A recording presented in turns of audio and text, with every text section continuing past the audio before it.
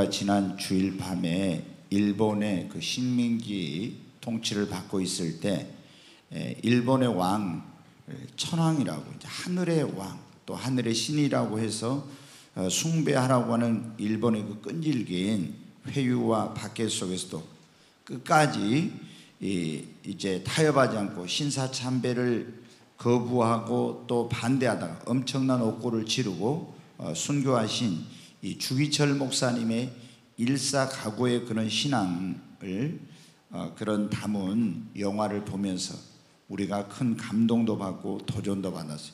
저도 이제 주기철 목사님의 생애를 여러 번 읽고 또 일사각오란 책도 읽고 또 나의 오중 기도라고 하는 그런 제목의 그 설교를 하실 때 그 내용을 보면서 책으로도 제가 많이 감동을 받고 읽을 때마다 눈물을 흘렸었어요. 근데 이번에 그 영화를 이 영화는 저도 처음 보는 건데 아주 너무 감동적인 어, 정말 그 주기철 목사님 같이 나도 하나님의 종으로 부름받은 사람인데 이런 정말 신사참배 혹은 적그리스도가 우상을 숭배하는 그런 일을 하라고 할 때 정말 많은 목사들 또 성도들이 다 이렇게 변절하고 또 그게 굴복하는데 끝까지 나는 정말 그런 신앙의 지조 또 하나님의 말씀대로 순종하면서 갈 수 있을까 이런 생각을 저도 해봅니다. 여러분 어때? 한 번만 고개를 숙이기만 하면 된다고. 그리고 그냥 고향으로 가서 당신 살면은 아무런 해도 가지 않겠다고 하는데도 불구하고 어, 오직 살아있는 신은 여호와 하나님 한 분뿐이요. 나 외에 다른 신을 섬기지 말라고 하는 그 주님의 말씀을 지키려고 어, 그렇게 정말 고난도 죽음도 마다하지 않는 그런 목사님의 모습을 보면서 과연 우리들이라면 오늘 나라고 하면 이 코로나 바이러스 이거 하나 두려워서 우리가 교회 오는 것마저 예배하는 것마저 두려워하고 있는데 우리가 과연 이런 시대를 맞이한다면 우리의 신앙은 어떨까 그런 생각을 하게 되었습니다. 여러분 요한 계시록의 기록자인 사도 요한도 하나님의 말씀대로 하려다가 어떻게 했습니까? 지금 펄펄 끓는 기름 가마솥에 들어갔다가 또 죽지 않으니까 반모섬이라는 섬으로 유배를 당했지 않습니까? 그냥 로마 황제를 신이라고 로마 황제를 주라고 인정하기만 하면은 그런 박해를 받을 필요가 없는데 아니야. 주님은 오직 주라고 부를 수 있는 분은 하늘과 땅이 예수님 한 분밖에 없어. 그거를 황제는 신이 아니라고 그렇게 할 수 없다고 하는 것과 예수 그리스도의 복음을 전하다가 이런 이제 고난을 받고 반모섬으로 갔죠. 그곳에서 여러분 우리가 지금 요한계시록 1장을 계속 보고 있는 오늘 일곱 번째인데 오늘 설교의 제목은 일곱 별의 비밀과 어, 그리고 어, 일곱 촛대라는 그런 말씀입니다. 여기 이제 보면 그곳에 가서 주의 날 하나님께 뭐를 들었어요? 예배를 드렸잖아요. 그때 성령의 감동을 받게 되었고 나팔 소리 같은 큰 음성을 들었고 어, 영안이 열려서 환상을 보게 되었습니다. 저는 우리 성도들은 이 사도 요한이 주의 날 예배를 드린 것처럼 무슨 일이 있어도 주님 앞에 나와서 예배를 드릴 수 있기를 바랍니다. 그리고 예배를 드릴 때 그냥 예배를 드리는 것이 아니라 이 사도 요한이 주의 날 예배를 드리면서 성령의 감동을 받은 것처럼 여러분들에게도 하나님의 성령의 감동이 있기를 바랍니다. 성령의 감동을 받고 또 어떻게 주의 음성을 들었고 영안이 열려서 영광 가운데 계신 주님을 배웠잖아요. 여러분 우리도 예배 때 올 때 이런 역사가 있어야 됩니다. 그러려면 어떻게 됩니까? 예배를 그냥 오면 안 돼요. 준비하고 와야 돼요. 몸과 마음을 준비하고 예배를 때 우리 선조들은 여러분 어떻게 예배 때 주일날 특별히 예배 들어갈 때는 반드시 좋은 가장 좋은 옷을 준비해 가지고 입고 가장 아름다운 그런 모습으로 주님 앞에 나와서 예배를 드렸잖아요. 지금 우리는 너무 그런 것들이 예배에 대한 정성이 없어요. 우리 몸과 그래서 어떤 분들은 보면 어떻게 돼요? 토요일 날부터 그 옛날에는 지금처럼 따뜻한 물로 쉽게 뭐 샤워를 할 수 있었습니까? 찬물로 목욕 재개하고 얼마나 그렇게 하면서 몸과 마음을 준비했는지. 저도 그래서 목회자 되기 전에 제가 교회 사를 읽으면서 인물들에 대한 생애를 읽으면서 이렇게 보니까 야 예배를 얼마나 경건하게 드렸는지 몰라. 그래서 제가 목회자 되기 전에 토요일 날이 뭐냐면 금식을 많이 했었어요. 왜? 주일날 예배를 내가 하나님 앞에 이렇게 믿음의 선조들처럼 제대로 드려야 되겠다. 그래가지고 토요일마다 금식을 하면서 나 자신을 돌아보면서 하나님 앞에 지난 일주일 동안 삶에 잘못한 거 있으면 회개하면서 이렇게 제가 예배를 드리러 갔었어요. 근데 지금 여러분 어때요? 우리가 예배 드릴 때 이렇게 하나님 앞에 경건하게 정성을 다해서 예배를 드리는 사람이 별로 없죠. 여러분 우리가 아, 정말 이 사도 요한은 주의 날 하나님 앞에 예배를 드렸잖아요. 우리도 정성스럽게 예배를 그리고 사모하는 마음을 가지고 기도하면서 예배를 드리면 이 사도 요한에게 일어났던 같은 이런 놀라운 일이 우리에게도 예배 중에 일어날 줄로 믿습니다. 그래야 형식적인 예배가 안 돼요. 성령이 역사하고 주의 음성을 영안이 열고 주님의 임재를 경험하는 놀라운 예배가 되는 거죠. 근데 이제 사도 요한이 그 환상을 보았는데 어떤 모습을 봤습니다. 일곱 금초대가 있고 그 사이를 발에 끌리는 옷을 대제사장의 옷을 입고 거니시는 주님 그리고 가슴에 금띠를 띠고 그 머리털에 희기가 흰 양털 같고 눈 같으며 그리고 눈은 불꽃 같고 발은 풀무에 단련한 빛난 주석 같고 또 그 음성은 많은 물소리 같은 우렁찬 음성이며 그 오른손에 일곱 별을 붙잡고 있고 입에서는 좌우에서 날성검이 나오고 그 얼굴은 해가 힘있게 비치는 것 같은 이런 모습을 보았습니다. 그런데 이 놀라우신 주님을 배웠고 사도 요한이 어떻게 됐어요? 거기 오늘 17절에 보면 내가 볼 때 그 발 앞에 엎드려져 죽은 자 같이 되며 그랬거든요. 우리가 여러분 누구든지 이 영광의 주님을 배우게 되면요. 다 성경에 보면 꼬꾸러지는 역사가 일어나요. 그 다니엘도 주님을 배우고 나서 성경을 보면 어떻게 돼요? 온 몸에 힘이 쫙 빠지는 것 같은 막 이런 일이 일어났어요. 담에색 도상에서 사울도 예수님을 만나고 나서 거꾸러졌죠.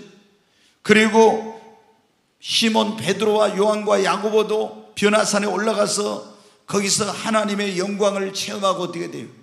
완전히 죽은 자 같이 됐거든요. 우리가 금요체나 할 때 재밌는 얘기 하나 말씀드립니다. 금요체나 할 때 제가 성령의 기름 부음 사역을 할 때 보면 사람들이 막 쓰러져요. 그 어떤 사람들은 아니 저 목사가 갖다 밀어버린 거 아니냐 뭐 그런. 근데 손을 대기도 전에 어떤 사람들은 막 쓰러지죠. 근데 이게 여러분 그냥 여러분이 생각할 때는 아 이게 아무것도 아닌 게 아니에요. 그 시간 하나님의 성령이 임하면서 나를 터치해 가지고 내가 그 성령의 역사로 말미암아 이렇게 거꾸러지는 거예요. 그런 자꾸 내가 주님 앞에 거꾸러지는 사람들은요. 그 거꾸러짐을 통해서 자아가 깨지고 어떤 사람은 그런데 아 어, 앞에 나와 쓰러진 거 보고 나는 절대로 안 쓰러져야지 막 등치 큰 사람이 그런 다짐을 하고 온 거예요. 근데 이렇게 가서 손을 대니까 어떻게 돼? 다리에 힘이 쫙 풀리면서 그냥 뒤로 벌렁 떨어져 가지고 이런 일들이 일어나요. 여러분 어떻게 우리가 주님을 만나오면은 하나님의 성령 임하고 주님의 놀라운 임재를 경험하면 어때? 사람들이 쓰러지고 죽은 자 같이 돼. 그래서 금요철에 일어난 그런 일도 여러분은 그걸 잘 모르겠지만 강력한 주님의 임재가 있는 거예요, 그게. 그래서 쓰러진 사람들을 제가 전에 어떻게 돼? 얼른 만지지 말고 놔두라 했어요. 그러면 쓰러졌을 때 하나님의 성령의 기름을 임하면서 영안이 열리고 주의 음성을 듣게 되고 환상을 보고 막 이런 일이 있게 되거든요. 여러분 그런데 이제 이 주님을 배우면 어떤 일이 일어나냐? 대부분 감격의 눈물을 흘리게 됩니다. 제가 처음에 이제 환상은 가끔 봤었지만 98년도 7월 24일 하늘이 열리고 정말 하나님의 그 영광을 보게 되었을 때 그야말로 눈물 콧물이 다 쏟아지더라고요. 하나님의 음성을 들었습니다. 사랑하는 아들아, 내가 너를 사랑한다고. 주님을 만나고 그 영광을 그 주님의 임재를 하니까 하, 눈물 콧물이 다 쏟아지더라. 그리고 주님을 배우면 어때? 이사야가 성전에 들어가 예배를 드리러 갔다가 거기서 어떻게 했어요? 영광의 주님을 배우게 돼요. 그 보좌 위에 앉으신 주님을 배우게 된 거예요. 그래서 화로다, 화로다, 나는 부정하는 자로다 하면서 막 그렇게 그 거룩하신 하나님 앞에 가게 되면요. 얼마나 우리가 부정하고 얼마나 우리가 더럽고 추한 자인지 그걸 깨닫게 돼서 막 한음씩 회개가 나오게 되는 거예요. 그리고 주님을 배우면은 그 변화산에서 시몬 베드로와 요한과 야고보가 그런 것처럼 황홀경에 빠지기도 하고요. 아, 그래서 입신을 해가지고 천국과 지옥을 가는 그 보고 오기도 이런 일이 일어나고 사명을 깨닫게 돼요. 그때 이제 이사야 선전은 그랬잖아요. 그가 자기가 화로다 화로다 나는 망하게 되었다고 이렇게 할 때 주님의 음성이 들렸습니다. 내가 누구를 보내며 누가 우리를 위하여 갈고 이런 주님의 음성. 그래서 내가 여기 있나이다 나를 보내서 자기의 사명을 깨닫는 역사가 일어났어요. 그리고 이 야곱이 야보강 나루토에서 주님을 만나고 사울이 담에색 도상에서 예수님을 만나고 나서 어떻게 돼? 완전히 변화되는 역사가 일어났죠.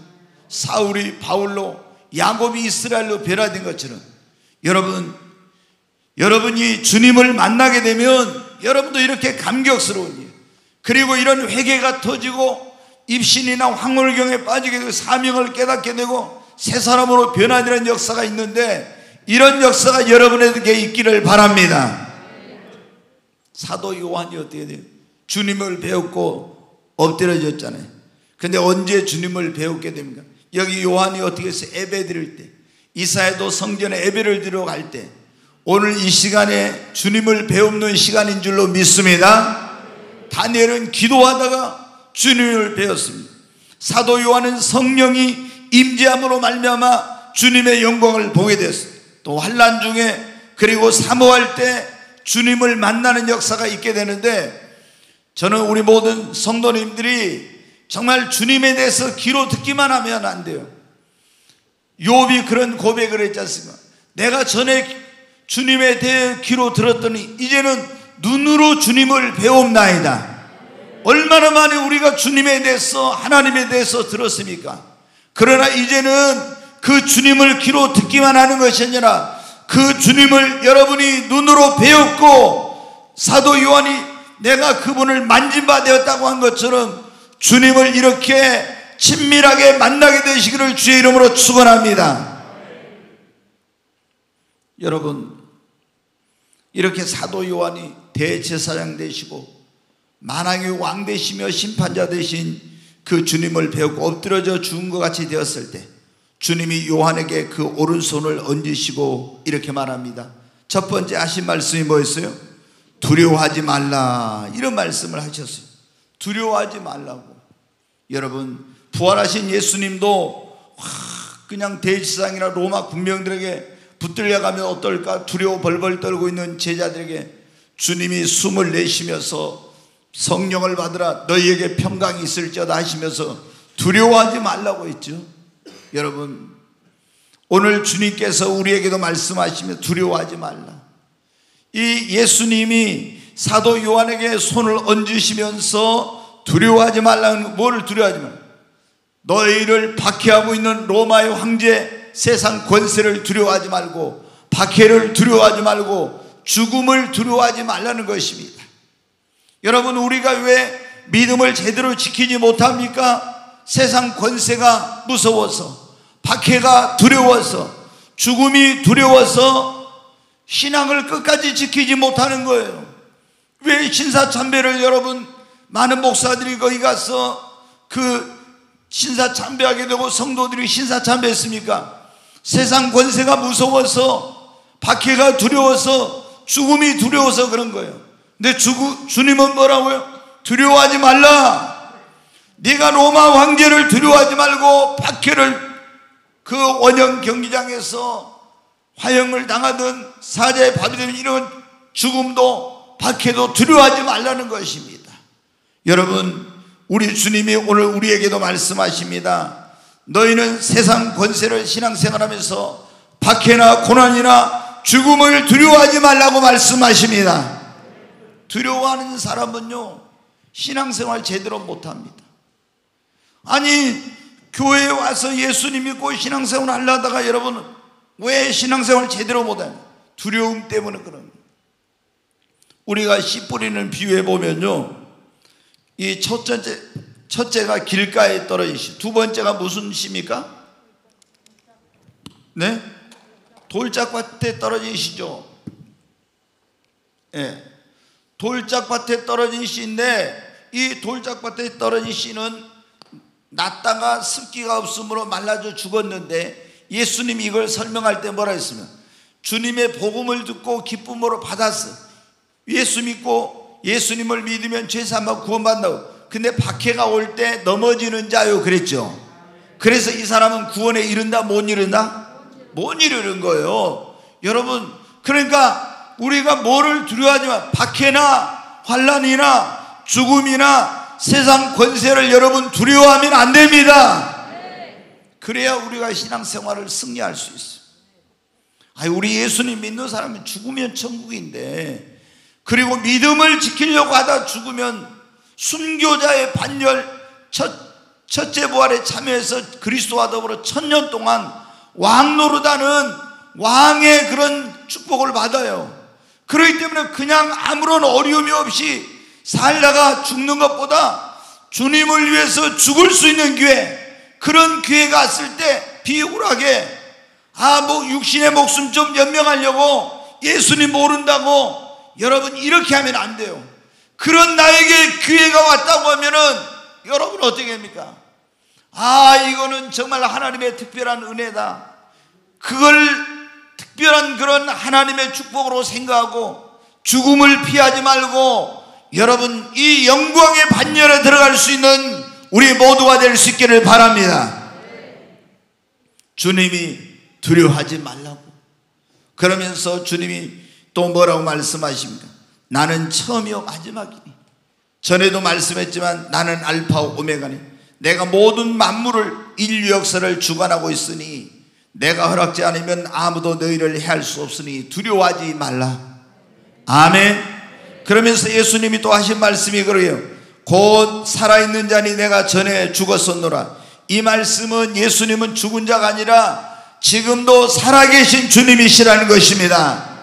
나는 죽음을 이기고 살아난 사망과 은배 권세를 이기고 부활한 살아있는 그런 주님이시라고 말씀하고 있습니다. 그러면서 이제 세세토록 살아있어. 세세토록 살아있어. 내가 사망과 음부의 열쇠를 가지고 있노라. 사망과 음부의 열쇠를 가지고 있다고 그랬잖아요. 네. 이 사망과 예, 음부의 열쇠. 이게 뭐냐면은 죽이고 살리고 하는 권세를 가지고 있다는 성경에 보면은 예수님께서 내가 이런 열쇠를 가지고 있다 이런 말씀을 하셨어요. 근데 이제 예수님이 무슨 열쇠를 가지고 있냐? 마태복음 16장 한번 보겠습니다. 자, 같이 읽습니다. 내가 천국 열쇠를 네게 주리니 네가 땅에서 무엇이든 매면 하늘에서도 매일 것이요 네가 땅에서 무엇이든지 풀면 하늘에서 풀리라 하시고 여기 보면 이제 가이사라 빌립보에서 예수님이 제자들에게 물어봤어요.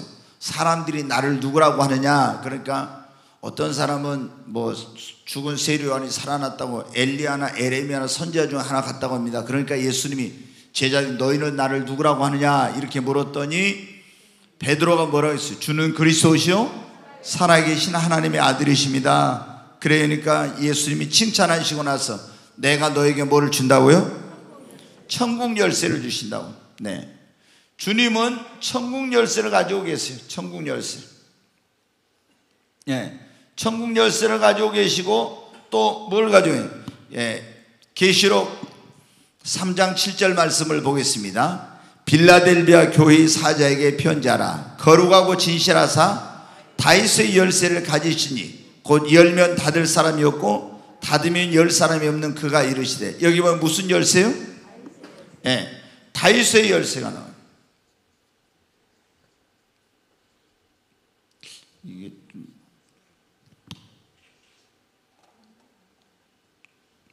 네.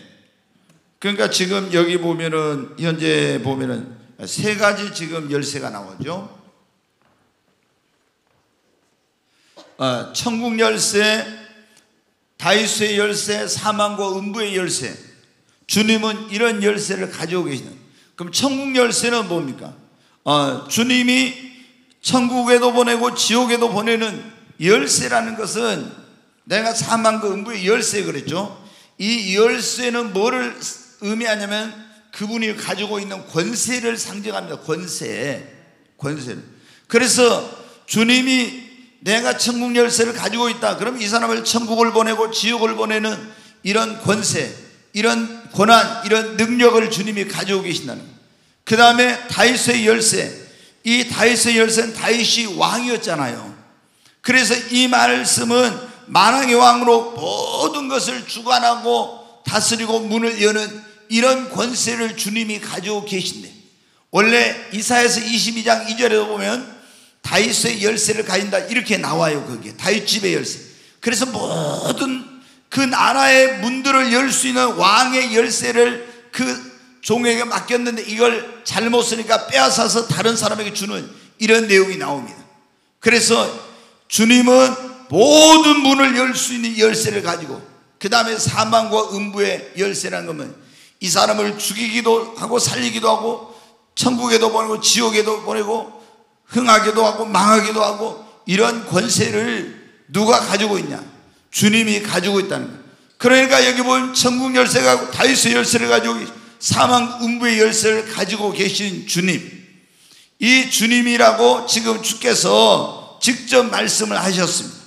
여러분 그러므로 예수님을 믿고 의지하고 두려워하지 말고 어떤 일이 있어도 주님께 기도하라고 말씀하신 것입니다. 여러분, 모든 것은 주님의 손에 있습니다. 한마디로 말하면 그거예요. 내가 천국 열쇠도 다윗의 집의 열쇠도 사망과 음부의 열쇠를 가졌다 이 말은 내가 죽이고 살리고 응하고 망하게 하고 모든 것을 천국 보내고 지옥에 보내고 로마 황제가 지금 세계를 지배하고 있으나 권한을 가지고 있는 것 같지만 그게 아니야. 예수님이 말씀하신 것입니다. 내가 죽이기도 하고 살리기도 하고 흥하기도 하고 망하기도 하고 천국도 보내고 지옥도 보내고 내가 이 모든 것을 하는 권세를 내가 가지고 있다고 말씀하신 것입니다. 여러분, 예수님이 이런 권세, 이런 능력을 가지고 계심을 믿으십니까? 그러면 무슨 일을 만나든지 어떤 환경 가운데 있든지 두려워하지 마시기 바랍니다. 낙심하지 마시기 바랍니다. 모든 것이 주님의 손에 있습니다. 그러므로 우리는 주님을 신뢰하고 그분께 맡기고 그분께 의지하고 여러분 기도해야 됩니다. 사람의 힘으로 능력으로 할 수 없는 일을 만나 모든 것이 누구의 손에 주님의 손에 여러분 있습니다. 지금 사도 요한에게 그런 거예요. 이거를 그 기록해서 보내는 성도들에게 교회의 모든 지체들에게 내가 너희에게 살리고 죽는 것은 내 손에 있어. 그리고 너희들을 이 세상 왕이 권세가 모든 걸 이렇게 하는 것 같지만 흥하고 망하게 한 거, 로마를 끝내는 것도 내 손에 있고, 그리고 사람을 지옥에 보내고 또 죽은 자를 살리기도 한 능력이 주님에게 있다는 것입니다. 그러므로 여러분 우리는 아무것도 두려워하지 말고 오직 주님 한 분만 두려워하고 주님을 믿고 여러분 의지해야 됩니다. 내 힘으로 능력으로 할 수 없는 문제나 어려움을 만나도 낙심하지 말고 주님께 이 모든 것이 있으니 여러분 기도하십시다. 그러면서 여기에 보면은 예수님께서 이런 말씀을 했어요. 19절에 보면은 그러므로 19절에 네가 본 것과 지금 있는 것과 장차 될 일을 뭐라고요? 기록한 세 가지를 네가 본 것. 뭘 봤어요? 주님이 아 금초 대사에 거니시고 발에 올리는 그 아, 발이 끌리는 그런 대상의 옷을 입고 금 띠를 두르고 머리털 흰 양털 같고 눈 같고 그리고 그 눈은 불꽃 같고 그리고 그 발은 풀무에 달리는 빛난 주석 같고 그리고 그 목소리는 많은 물소리처럼 우렁차고 그 입에서는 양쪽에 그 검이 나오고 얼굴에 해가 비가 해가 힘있게 비추는 것 같은 이런 모습을 봤는데 지금 이것을 네가 본 것, 이것을 본 것을 그리고 지금 있는 일, 이 지금 있는 일은 요한계시록에 지금 세 가지를 기록해서 보내라고 했어요.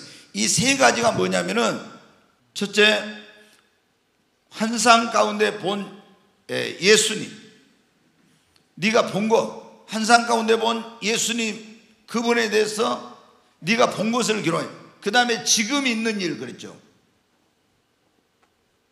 지금 있는 일은 뭐냐면 계시록 2장과 3장에 뭐가 나오냐면 소아시아 일곱 교회의 그 어, 지금 상황에 대해서 주님이 말씀하신 것이다. 그 다음에 이제 세 번째 뭐라고 했습니까? 거기 보면 장차 될 일을 기록하라 그랬죠. 그게 이 장차 될 일은 어디서부터냐? 그러면은 이제 계시록 정확히 하면 6장인데 계시록 4장부터 22장까지 이게 장차 되어질 그런 일이에요. 이제 4장에는 올라가면 4장 5장은 예수님께서 천국의 그 어, 아니 사도 요한을 올려 보내 가지고 거기서 하늘나라의 예배가 어떻게 드려지고 있는지 그걸 보여줬는데 앞으로 되어질 일 이것을 기록해서 소아시아에 있는 일곱 교회 보내라 그랬습니다. 근데 이것은 단지 소아시아에 있는 일곱 교회만이 들으라고 보라고 한 것이 아니라 모든 교회를 위한 것입니다. 근데 주님이 이것을 기록해서 보내라고 하는 목적은 뭐냐? 그럼 환란 가운데 있는 성도들을 위로하기 위한 것입니다. 여러분, 여러분이 요한계시록을 많은 사람들이 있잖아요. 오해하고 있는 것 가운데 하나가 뭐냐? 그럼 요한계시록을요 읽으면 벌벌벌벌 떨어. 불안해하고 두려워해요. 그래서 무서워서 요한계시록 안 읽은다는 사람. 이거는 정말로 여러분이 성경을 오해한 거예요. 요한계시록을 기록한 첫 번째 목적이 뭐냐? 그 당시 성도들이 엄청난 박해와 환란과 어려움 속에 있었잖아요. 그럼 기록한 첫 번째 목적이 뭐예요? 그 환란과 고난 속에 있는 성도들에게 뭐를 위해서? 위로를 주고 소망을 주기 위한 겁니다. 아멘. 그러니까 우리가 이렇게 엄청난 고난과 환란과 어려움 속에 있어도 그 요한계시록 읽으면은 거기서 뭐가 정말 우리를 붙들고 계시는 주님, 알파 오메가 되셔서 모든 걸 주관하고 계신 주님, 그리고 장차 우리를 위해서 예비하는 천국의 그 영광스러운 모습을 요한계시록에서 보게 되는 거예요. 아, 그러니까 내가 이 환란 가운데서 낙심하지 말자, 두려워하지 말자. 이게 전부가 아니구나. 승리케 하시는 주님이 나와 함께 하시구나. 뭐가 생겨? 소망이 생기는 것입니다. 그래서 고난 가운데 있는 성도들은 사실은 계시록을 많이 읽어야 됩니다. 아멘. 근데 지금 우리는 어떻게 돼? 거꾸로 돼 가지고 있잖아요. 요한계시록을 읽는 걸 무서워하고 이게 안 믿는 세상에 대해서 그리고 주님을 떠난 사람들에 대해서 어떤 심판할 것인지에 대해서 보여주고 있지만 믿는 자들에게는 얼마나 주님이 영광스러운 자리로 그들을 인도하고 보상하고 축복해 주시고 이런 것을 기록해 놓은 거예요. 그렇기 때문에 우리 예수님을 제대로 믿고 신앙생활 하려는 사람들은 요한계시록을 읽으면서 아, 이 세상은 이거 잠깐인데 여기에 우리가 얽매이지 말고 영원한 하나님의 나라의 천국을 바라보고 살아야 되겠구나. 이런 믿음을 가지시기 바랍니다. 두 번째로 이 요한계시록을 전에 제가 기록한 목적이 된 말씀인데 다가올 미래를 준비하라는 것입니다. 아멘. 자, 지금 4장부터 22장까지는 앞으로 되어질 장차 되어질 일이라고 했잖아요. 그래서 특별히 이제 6장부터 22장까지 여기는 어 이제 그 안에 한 예, 요거에 20장, 19장, 20장 여기는 뭐냐면은 이제 대환란에 대한 그런 내용이 나와요. 7년 대환란에 대해서. 요게 이제 나와. 근데 7년 대환란 가운데 굉장히 이제 여러분들 뭐 어려운 일들이 많이 생기죠. 거기 보면 흰말, 예, 그 다음에 뭐 붉은 말, 검은 말, 그 다음에 청황생말 이런 말들을 막 이제 인을 뗄 때마다 일곱 인이 있잖아요. 그 다음에 일곱 나팔 재앙, 일곱 대접 재앙 있잖아요. 근데 이럴 때마다 막 사람 4분의 1이 죽고 3분의 1이 죽고 막 어마어마한 그런 일들이 일어나요. 그리고 적그리스도가 나타나서 또 성도들에게 어려움을 주고 그래도 여러분 거기 보면 뭐라고 나왔어요? 우리가 막 적그리스도가 나타나서 666표를 안 받으면 다 물건 사고 팔고 못하고 죽으니까 얼마나 두려워 그런데 사실은 성경을 여러분이 자세히 읽어봐요 요한계시록에 거기 보면은 황충이 나와서 사람을 막 죽이고 이렇게 하는데도 하나님의 인을 받지 않은 자들 생명책의 이름이 기록되지 않은 자들을 해하라고 이렇게 나와요 하나님께서 그 환란 속에서도 생명책의 이름이 기록된 자들 하나님의 인을 받은 자들은 하나님이 보호하고 계십니다 물론 순교자도 있겠죠. 그런데 순교하면 뭐라고요? 영광이라고. 영광. 그래서 여러분 죽는 거 두려워하지 말아야 돼. 예수님 믿는 사람들.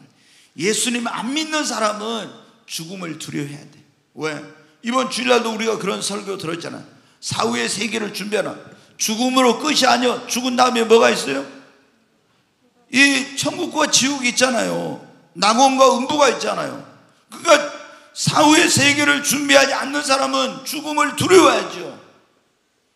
내가 없다고 부정한다고 해서 하나님이 안 계십니까? 내가 천국과 지옥이 없다고 해서 실제하는 천국과 지옥이 없습니까? 아니요, 이거 어리석은 사람들이요. 내가 눈에 보지 못했다고 해서 없는 게 아니에요. 여러분, 우리가 지금 공기가 여기 있으니까 숨을 쉬고 살고 있어. 눈에 보입니까? 여러분, 한 번이나 공기 봤어요? 그러나 공기가 존재한다는 걸 믿죠. 전기 여러분 한 번이나 눈으로 봤습니까? 안 보이잖아요. 그러나 전기가 존재해가지고 이 불이 들어오고 있지 않습니까?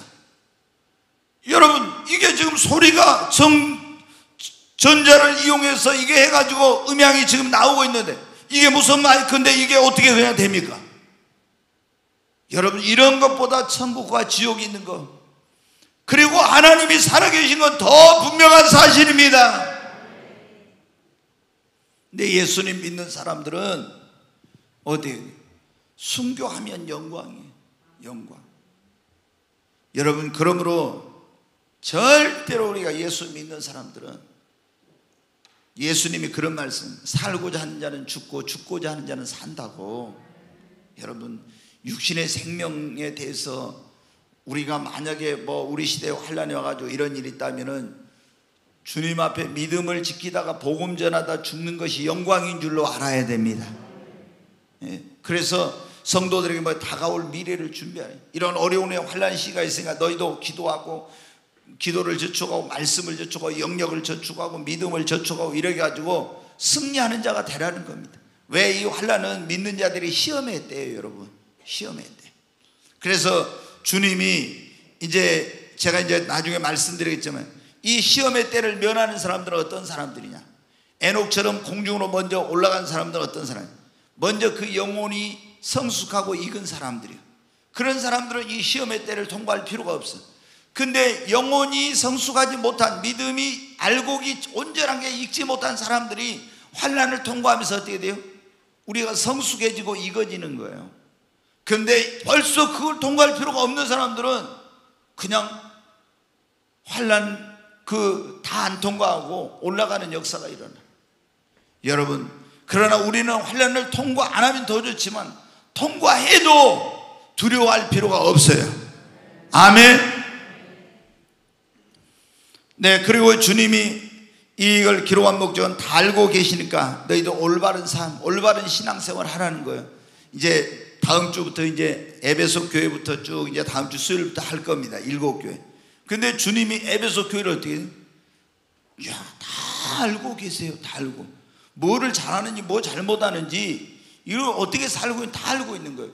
그러니까 주님이 뭐 이걸 기록해서 보내라는 것은 야, 내가 그냥 저 멀리 있어가지고 너희들 어떻게 사는 거나 관심도 없고 아무것도 모르는 게 아니라 내가 너희들 어떻게 하고 있는지 뭘 하는지 나를 위해서 어떤 삶을 살고 있 다 알고 있다고 그거를 말씀하시. 그래서 너희들 어떻게 돼? 바르게 하나님을 섬기고 바르게 살라. 그렇게 말씀하시는 것입니다. 자, 그 다음에 이제 마지막 절에 보면 20절 한번 같이 읽겠습니다. 네가 본 것은 내 오른손에 일곱 별의 비밀과 또 일곱 금 촛대라. 일곱 별은 일곱 교회 사자요. 일곱 촛대는 일곱 교회니라. 이제 요한계시록에 보면요. 비밀이다. 이런 게 나와요. 비밀이라는 게 몇 번 나와. 비밀이라는 것은 잘 어떻게 돼요?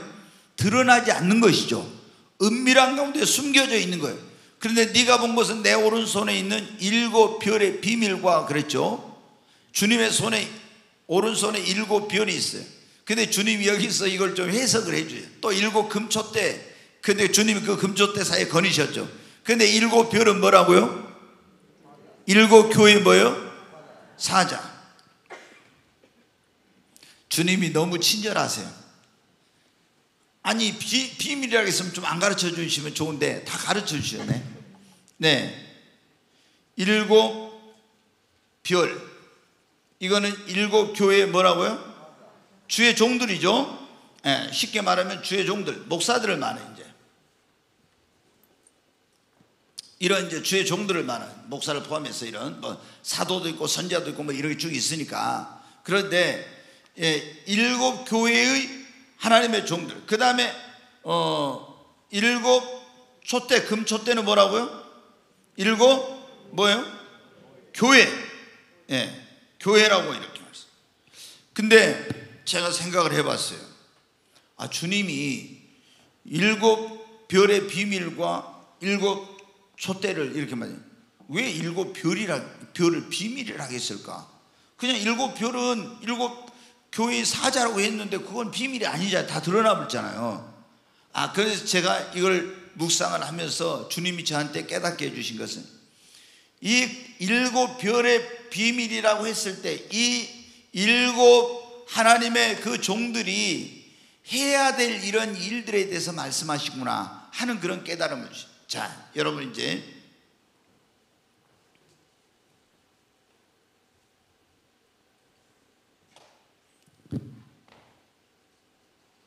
주의 종들을 별이라고 했잖아요. 별. 그러면 한번 별의 별이 뭐를 합니까?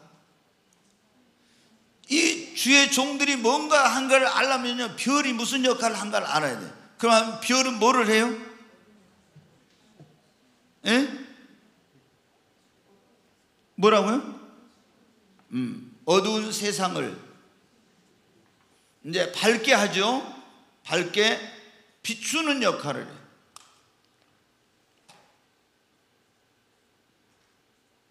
비추는 역할. 그 다음에 또 뭘 합니까? 별은? 예? 아, 지금 시대에는 뭐 나침반도 있고 뭐 별거 다 있어가지고 GPS 뭐, 뭐 별거 다 있었는데 이 2000년 전에는 그때는 우리가 어디 나그네들 여행 가려면 뭐예요? 별자리를 보고 어떻게 돼요? 방향을 찾아가지고 갔죠. 그때는 그랬잖아요. 방향 제시.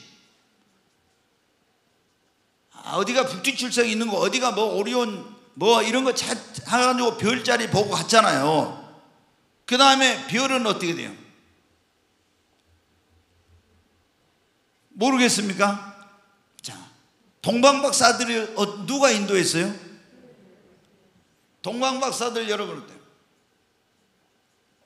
동방박사들을 별이 어떻게 했어요? 인도에. 그러니까 별은 보니까 세 가지 역할을 해. 어두운 것을 밝히는 역할, 방향을 제시하는 역할, 주님께로 이게 별을 동방 박사들을 인도했잖아요. 그러니까 주의 종들은 무슨 역할을 하냐? 어두운 세상에서 이 주님을 모르는 사람들을 주님께로 인도한 이 별처럼 별이라고 일컬은 주의 종들은 많은 영혼을 누구 앞으로 인도해야 돼요? 주님 앞으로 여러분이 인도해야 되는 겁니다. 아멘. 하나님의 종들은 그러니까 이걸 다 설명했으면 이게 비밀이 아니야. 근데 이걸 설명을 안 해놨으니까 이게 비밀이야. 그래서 동방박사들이 예수님이 태어난 것을 어떻게 뭘 보고 알았어요? 별을 보고 알았죠. 별이 가르쳐 줬어. 그이 구원자가 이 세상에 왔는데 이 세상에 있는 사람이 모른단 말이에요. 그러면 누가 이것을 세상 사람들에게 구원자 예수님이 태어났다는 걸 가르쳐 줘야 돼요? 1차적으로는 주의 종들이 가르쳐 줘야 돼. 그거를 전해야 돼. 그리고 그 사람들을 어디로 인도해요? 구원자이신 예수님 앞으로 인도해야 됩니다. 주의 종들은 그래가지고 그들이 뭘 하게 해야 되냐? 그 구원자이신 예수님을 만나서 구원받고 동방박사들이 와서 그분을 경배한 것처럼 구원받은 그분들이 하나님을 예수님을 경외하는 삶을 살도록 주의 종들이 그들을 가르치고 인도해야 되는 것입니다. 이게 주의 종을 별이라고 해서 하는 거예요. 그 다음에 주의 종들은 여러분 어떻게 돼요? 이 별들이 어두운 캄캄한 밤에 갈 길을 모르는 사람의 방향을 제신 것처럼 어두운 제약된 세상에서 내가 어디로 가야 될지 갈 길을 알지 못한 방황하는 인생들을 어떻게 돼요? 바른 길로 인도하는 인도자 역할을 해야 됩니다. 그래서 이제 목자라고도 하잖아요. 그 다음에 죄악으로 어두워진 세상의 주의 종들은 뭐를 해야 돼요? 그 세상에 빛이 돼서 어두운 세상을 밝히고 어두운 시대를 깨우고 절망 가운데 있는 그런 인생들에게 소망을 주는 소망의 빛을 비추는 역할을 주의 종들이 해야 된다는 거예요. 아멘. 오늘 여기 있는 주의 종들은 아 하나님이 나를 왜 주의 종으로 부르셨는가 잘 알아야 돼요. 아 나를 이 별이 가서 구원자가 태어났다고 알려준 것처럼 예수님을 전하라고 그리고 그 사람들을 예수님 앞으로 인도해서 구원자인 예수님을 만나 구원받고 그분을 경배하는 삶을 살도록 하는 역할을 하라고 그들에게 하라고 그 다음에 갈 길 알지 못하는 인생들에게 갈 바를 제시해주고 인도하는 역할을 하고 어두운 세상에 빛이 되어서 그 어둠을 밝히고 시대를 깨우고 소망 없는 인생들에게 소망의 빛을 비추는 이런 역할을 하라고 나를 주의 종으로 세우셨구나. 아멘. 자, 그 다음에 이제 네가 본 것은 오른손에 있는 내 오른손에 일곱 별과 또 뭐라고 했어요? 일곱 뭐라고요? 촛대다 그랬어요. 자, 이제 그럼 보겠습니다.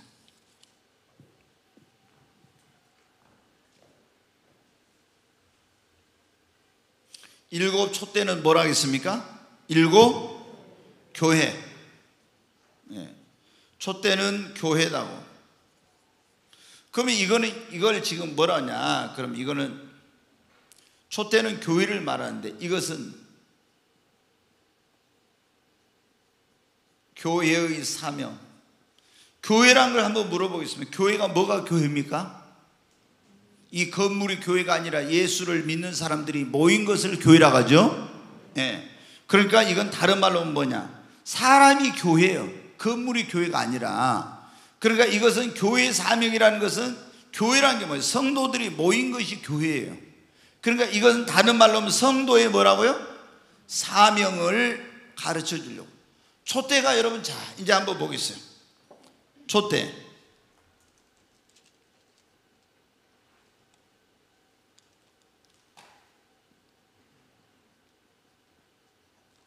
네, 촛대는 뭐를 합니까? 성현실 집사님, 촛대는 뭐를 해요? 금촛대요, 금촛대. 그러니까 어, 이게 뭐예요? 어두움을 어떻게 해? 어두움을 밝혀. 그러죠? 음. 어두움을 밝히는. 이상하네. 그 국문학 한숨을 밝힐 때 어떻게 해? 리을 키어? 맞아? 예, 헷갈려가지고. 그래. 우리 성현실 집사님이 국문학, 아, 교육학 석사구나. 국문학 학사고. 예. 그러니까 내가 물어본 거예요, 저기야. 예. 예, 어둠을 밝히는 역할을 하죠. 제일 중요한 게 이거잖아요. 어둠을 밝히는 역할을. 그 여러분 어때요? 그러면은 어, 교회가 해야 될 일, 그래 우리 성도가 해야 될 일이 뭐라는 거예요? 어두운 세상을 뭐라? 예, 어두운 세상에 너희가 뭐가? 빛이 돼서 촛대가 돼서 그것을 어둠을 밝히는 어, 역할을 하라는 거죠. 그게 교회가 해야 될 일이 바로 뭐냐면은 세상이 어둡잖아요. 죄악으로. 이 죄악으로 어두워진 세상을 이 촛대라고 하는 거 이거는 바로 교회를 의미하고 성도를 의미하는데 성도들이 해야 될 일은 어두운 세상을 밝히는 일. 자, 마태복음 5장 14절부터 있는 말씀을 한번 보겠습니다. 같이 읽겠습니다. 너희는 세상에 뭐라고요? 빛이라고. 누구보다 하는 거예요? 여러분 예수님 믿는 우리에게 하신 말씀입니다. 너희는 세상에 뭐라고요? 빛이라고. 그래서 산 위에 있는 동네가 숨기지 못할 것이요. 자, 15절 보겠습니다. 사람이 등불을 켜서 말 아래 두지 않고 등경 위에 두나니 이러므로 집안 모든 사람에게 비치느니라. 옛날에 여러분 이제 등불이 있어요. 등불. 근데 등불을 말이 있잖아요. 대가 있고 말이 있고 말이 있는데 그 속에다 넣어 놓으면 안 보이잖아요. 그러니까 그러기 두지 않고 등경 위에 등잔을 이렇게 놔두는 그 등경 위에 둔다. 그러면은 집안에 모두 다 비춰서 환하게 되죠. 이렇게 지금 말씀해요. 예수님이 하신 말 산상순 16절 이같이 너희 빛이 사람 앞에 비치게 하여 그들로 너희 착한 행실을 보고 하늘에 계신 너희 아버지께 영광을 돌리게 하라. 너희는 세상의 빛인데 이 빛을 어떻게 하라고요? 사람 앞에 비치게 하라는 것입니다. 그래서 그들로 너희 착한 행실을 보고 하늘에 계신 너희 아버지께 영광을 돌리게 하라. 여러분, 우리가 예수님 믿는 사람들을 산상수훈에서 보면 이렇게 말씀하셨어요. 예, 너희는 세상에 뭐라? 소금이고 또 뭐라고 했습니까? 빛이라 그랬죠. 소금은 썩어져 가는 것을 어떻게 돼요?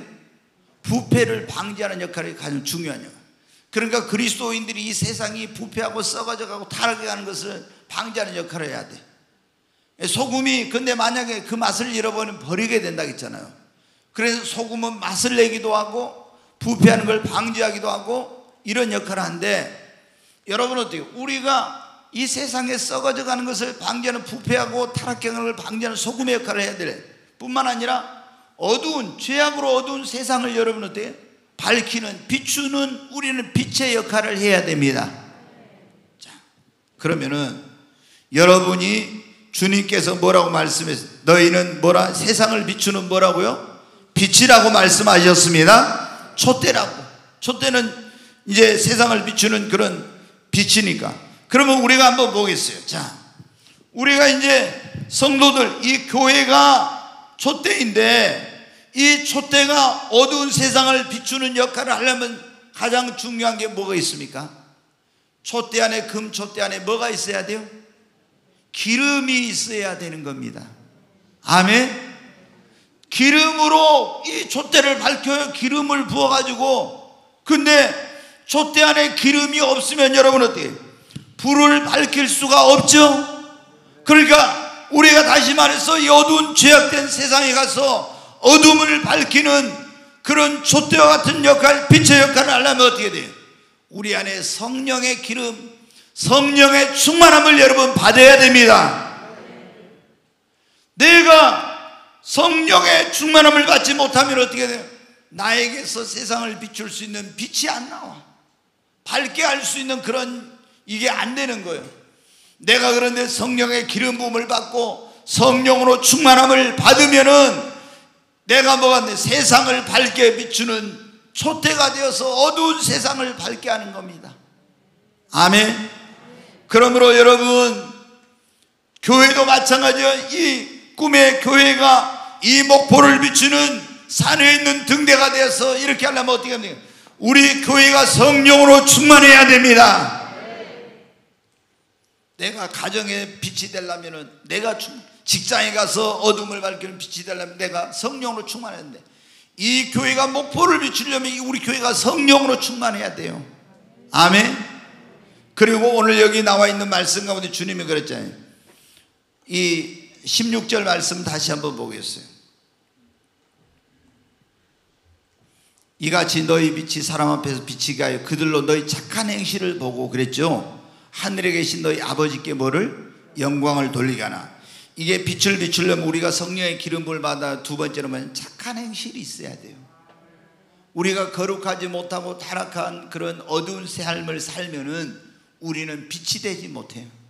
내가 경건하고 거룩하고 정결하고 착한 행실을 할 때 그럴 때 빛을 비춰서 그 다음에 사람들이 아 정말 그걸 보고 이제 하나님께 영광을 돌리고 그 빛이 되는 삶을 통해서 하나님을 영화롭게 하는 거예요. 그러니까 우리가 성도의 사명, 교회 사명이 뭐냐? 초대가 되는 것인데 그걸 하면은 성령의 기름 부음과 성령 충만을 받고 두 번째는 우리 자신을 거룩하고 경건해야 합니다. 정결한 삶을 살고 선한 삶을 살아야 돼. 그래야 빛이 되는 거예요. 근데 내가 여러분 보세요. 자, 빛이 되어야 될 사람이 내가 거룩하지 못하고 경건하지 못하고 타락한 생활하고 이런 불의한 삶을 살면은 내가 어디 가서 빛이 되겠습니까? 내가 어둠인데 그러잖아요. 근데 우리 가정이 어두웠어. 근데 내가 예수님을 믿고 성령 충만해가지고 들어가면 절망과 어둠과 죄와 이런 게 갈등했던 세상에 내가 들어감으로 그 가정이 밝아지는 거예요. 그 도시가 밝아지고 그 직장이 밝아지고 그러니까 여러분 어때? 내가 그곳에 빛이 되어서 그 어둠을 밝히는 역할을 하는 거예요.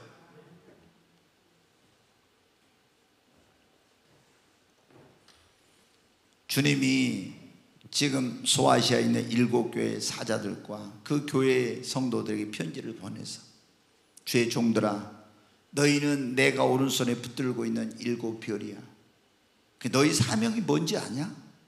너희는 이 메시아가 왔으나 구원자가 왔으나 그걸 모르고 있는 사람들에게 구원자가 태어났다고 그 알려주고 그들을 구원자이신 예수님 앞으로 인도하고 그 예수님 앞에 사람들이 와서 무릎을 꿇고 동방 박사들이 황금과 유황과 몰약을 가지고 그 아기 예수께 경배한 것처럼 사람들로 예수님을 섬기게 하는 것이요. 그리고 갈 바를 알지 못하는 사람들에게 그 인생의 갈 길을 방향을 제시해 주고 그리고 어두운 세상에 너희는 빛이 되어서 어두운 세상을 밝히 비추고 시대를 깨우고 소망의 빛을 비추는 그런 자가 되라는 거예요. 왜? 그 시대가 얼마나 어두웠습니까? 여러분 그러잖아요. 막 이 초대교회가 말로 할 수 없는 어두운 시대. 로마가 세계를 지배하는데 얼마나 부패하고 타락한 세상 권력이 지배하면서 성도들도 절망과 그 막 환경 속에서 방황하고 어둠 속에 있을 때 주의 종들에게 너희는 바로 내가 오른손에 붙들고 있는 일곱 별이다. 그래서 너희가 이런 역할을 해야 돼. 주님이 그걸 이걸 말씀해 주시는 거예요. 근데 이건 어떻게 돼? 일곱 별의 비밀이라고. 왜?